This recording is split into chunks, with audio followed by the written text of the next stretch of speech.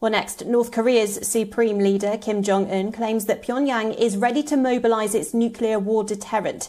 This comes amid concerns that the country could be preparing for another nuclear test. Speaking at a Korean War anniversary event, Kim said that North Korea is fully ready for any military confrontation with the US. The Supreme Leader says North Korea has achieved the urgent historical task of preparing its self-defense due to nuclear threats from the United States. He accused the Biden administration of misrepresenting Pyongyang's military exercises as provocations. Kim also hit out at the South Korean President Yoon Suk Yeol. He accused the leader of threatening North Korea's security and its right to defend itself.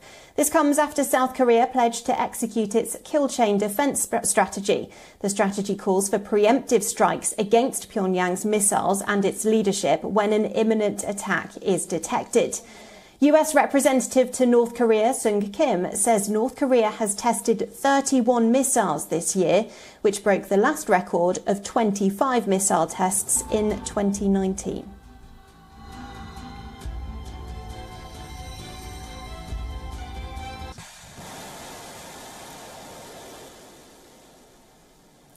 Well, our Hong Kong correspondent Richard Kimber has sent us this report. Take a look.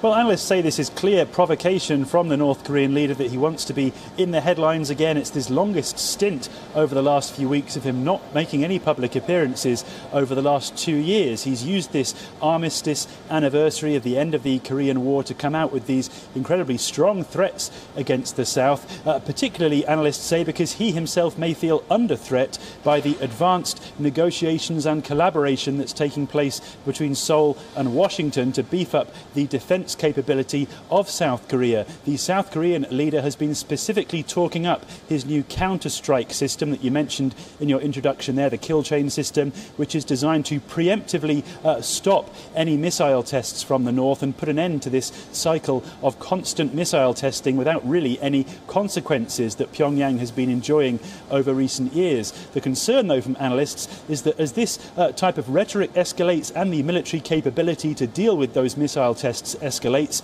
on the part of South Korea, that there is more risk of a potential large scale escalation of military tension occurring because all it will take then is one act to provoke the other side to carry out something more serious than's been seen before.